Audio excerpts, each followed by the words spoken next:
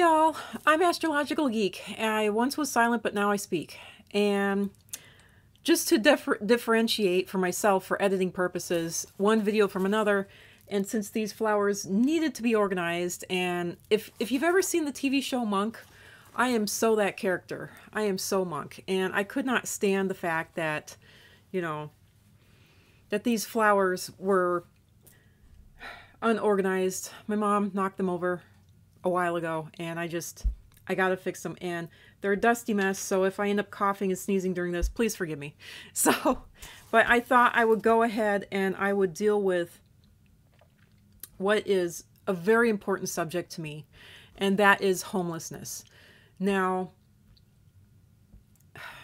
something that I didn't know about homelessness at all and that was that it has now become there there's a think tank down in Texas that and also by the way um, please forgive me anyone that might be hard of hearing or starting to lose their hearing. I, I don't mean to put all this background rustle of me organizing the flowers in your ears. Please forgive me about that.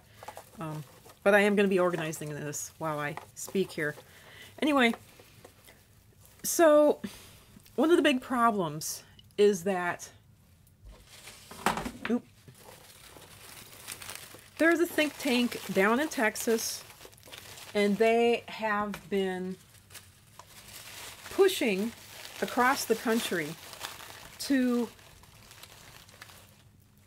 get legislatures and senators and governors, whatnot, everyone, everyone in on this, and they had they started county by county, uh, well before COVID hit, and they have just pretty much absolutely exploded since COVID, um, which is very much not a good thing. I really should put these in last, these flowers, if you can even see what I'm doing. Um, anyway, they have ended up pushing to make homelessness a federal crime in the U.S., and they have managed to do it. And they're doing it state by state. There, I think that looks a lot better. Eh. Anyway, they have managed to do it, and they're doing it state by state. And they were doing it county by county. But now they're getting it done state by state. And it is now, you are committing a federal crime in the U.S when you sleep in a public place is what it actually is. Uh, there are many other things that homeless people have to do in public because they don't have, you know, the means necessary. But they they literally have outlawed basically uh, the majority of the states in the United States have made it a felony offense to sleep in public and basically just to be homeless. If you are found sleeping on public lands, that means on a sidewalk, under a bridge, under an overpass, in a meridian, uh, even out on camping grounds. If you if it is if you are sleeping on camping grounds camp campgrounds are you know usually a public a federal public area. There are there are private camping grounds. There are lots of private camping grounds but there are lots of public camping grounds. The majority of them are in california. Uh, but for the rest of the us they're pretty much aren't any public camping grounds any longer anywhere. Um, which which really which is sad and unfortunate, but there you go. So if you are caught sleeping on any public place, you have committed a felony and you are arrested and charged with a felony crime. And the homeless, obviously, they don't have the money for lawyers and they're not given any legal defense of any kind. So this is this is in my mind an absolute travesty. The other thing that I ended up realizing, and it can be seen now with not only pot, which is uh, a federal you know, a federal crime to even have pot at all, but also with abortion, the states themselves get to decide what is a felony. The US government can suggest what is a felony, but the states are able to decide for themselves what is a felony. And along with this, there is the three strikes rule which is still in effect. If you get three misdemeanors, by the th- by the time you get the third misdemeanor, that is automatically elevated to a felony, and you are automatically a felony criminal.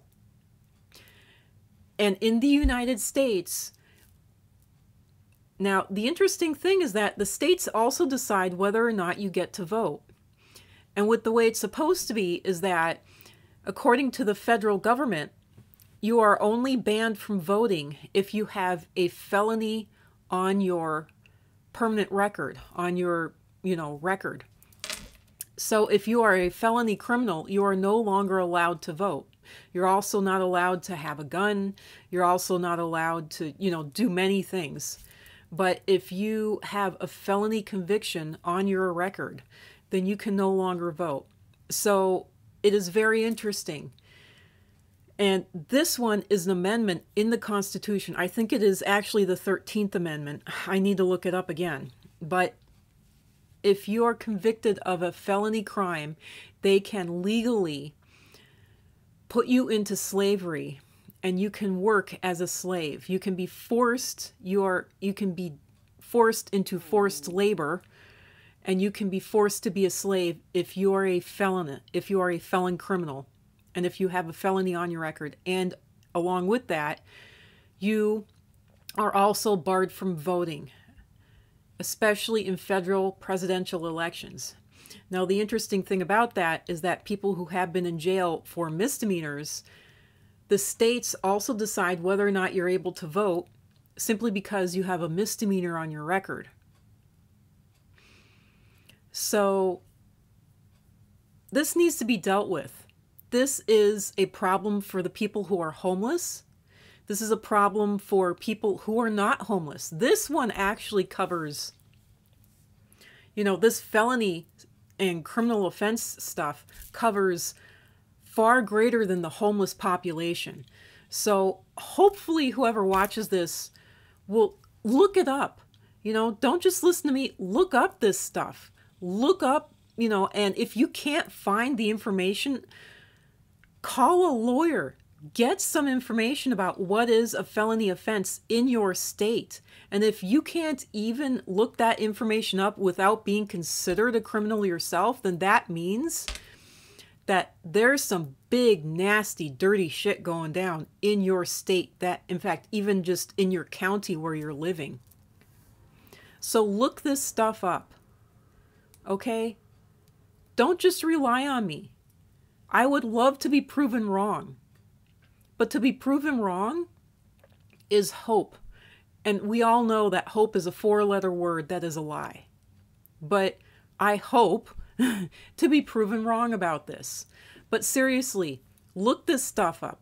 Don't trust me. Don't believe me. Look it up. Dig for yourself. Dig for yourself in your own county. Dig for yourself in your own state. And I hope to God that you can prove me wrong, but one of the best ways to prove me right or wrong is to go and talk to homeless people and record your conversations, or at least record them for your own mind. Talk to homeless people personally. Find out. Talk to cops if they'll even talk to you about this. See if you can get your hands on a couple of lawyers and see what they have to say. Do they even know about this? Most lawyers don't even know about homeless people because they won't take them because they don't have the money to pay. They're not about to take, you know, deal with clients that can't pay them. The system is rigged and it's not good. So I'm going to end this one because it's getting on 10 minutes. Sorry about the rustling and the flower stuff, but I had to differentiate these videos somehow, and those flowers really needed fixing. So anyway, I'm Astrological Geek. I once was silent, but now I speak. Please look this stuff up for yourself. Please. I would love to be proven wrong in this. I really would. So, bye for now, and I'll see you on the next video. And the next video is going to do with food stamps, also known as the SNAP card, S-N-A-P, and all of these criminal convictions. So that video is next and it deals, it is intimately connected with this one. So bye for now.